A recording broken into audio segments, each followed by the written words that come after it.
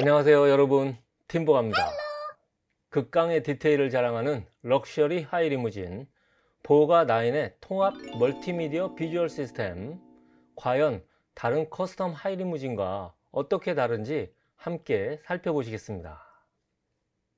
지금까지의 하이리무진들은 리모컨이 차량에 여러 개 들어있어서 뭘 켤 때는 1번 리모컨 또 뭘 켤 때는 2번 리모컨 이런 식으로 작동을 해야 했죠 그러다 보니까 약간의 기능만 추가해도 리모컨이 서너 개가 되고 정신없는 상황이 됩니다. 그런 불편함을 해소하고자 조수석 대시보드에 보조 모니터를 추가하기도 하고 그러는데 뭐 그닥 상황은 좋아지지 않죠. 보조 모니터 같은 경우는 저희도 천장용 모니터를 장착하거나 할 때 추가로 장착하는 단골 아이템입니다만 최고의 럭셔리 통합 멀티미디어 시스템이란 타이틀 아래서는 아 어울리지 않죠 보가 nine은 이렇게 별도의 리모컨 휴대폰의 앱 이런 거 필요 없이 차량의 순정 파노라마 디스플레이에 보가 9 전용 launcher를 띄워서 터치 스크린 컨트롤 방식으로 모든 시스템을 컨트롤할 수 있죠 가히 압도적이라 하겠습니다. 상황이 이러니 차량 곳곳에 하드웨어 버튼도 필요 없어요. 모든 기능은 순정 파노라마 디스플레이에서 터치스크린으로 작동합니다. 깔끔하고 편리하죠. 게다가 이 모든 시스템의 운용은 안드로이드 뭐 이런 게 아니에요. 윈도우 기반의 PC로 시스템 전반을 운영하기 때문에 차량용 안드로이드 기기들에서 늘 아쉬웠던 부분들 한 템포 늦게 동작하는 버벅거림이나 정보 표출의 제한 기타 등등 완전히 해결했다 이렇게 말씀드릴 수 있겠습니다 순정 모니터에서 보가 9의 런처로 어떻게 화면을 전환하느냐 그것도 아주 스마트해요 순정 맵 버튼을 길게 누르면 순정 화면에서 런처 화면으로 전환되고요 다시 순정 화면으로 돌아가려면 짧게 터치해주면 됩니다. launcher의 이 색감은 무심히 지나칠 수도 있지만 순정 아이콘 색감과 동일하게 디자인되어서 이질감을 최소화하고 있습니다. 이런 디테일, 야 이런 거 정말 너무 좋아요.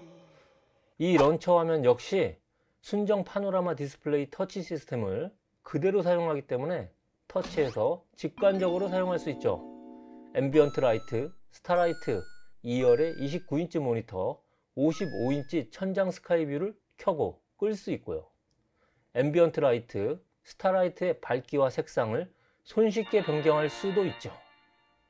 roof 아이콘을 터치해서 55인치 천장 sky view 배경을 여러 이미지나 영상으로 변경할 수도 있고요. 차량에서 손쉽게 다양한 미디어를 시청할 수 있도록 유튜브와 넷플릭스 아이콘이 이렇게 메인에 위치하고 있는 것을 확인할 수 있어요. 2열에서도 29인치 모니터에 런처를 띄워서 시트에 장착된 터치패드 혹은 별도의 블루투스 키보드로 앞에서 말한 모든 기능을 사용할 수 있습니다. 어때요? 너무 편리하겠죠? 이 정도는 되어야 진정한 통합 멀티미디어 시스템 더해서 통합 멀티미디어 비주얼 시스템이라 할 수 있는 것이죠. 앞에서 말씀드린 것처럼 PC를 기반으로 하고 있기 때문에 유튜브를 포함한 인터넷 서비스를 사용하는데 답답함이 없이 시원시원하게 사용할 수 있습니다. 자, 일체의 리모컨과 하드웨어 버튼이 없는 깔끔하다 못해 미니멀한 통합 멀티미디어 시스템에 비해 극강의 화려함을 선사하는 55인치 천장 스카이뷰를 자랑하는 보가 9 멀리 있지 않습니다. 합리적인 가격과 다양한 금융 상품으로 이 럭셔리한 보가 9이 여러분의 차가 될 수 있습니다.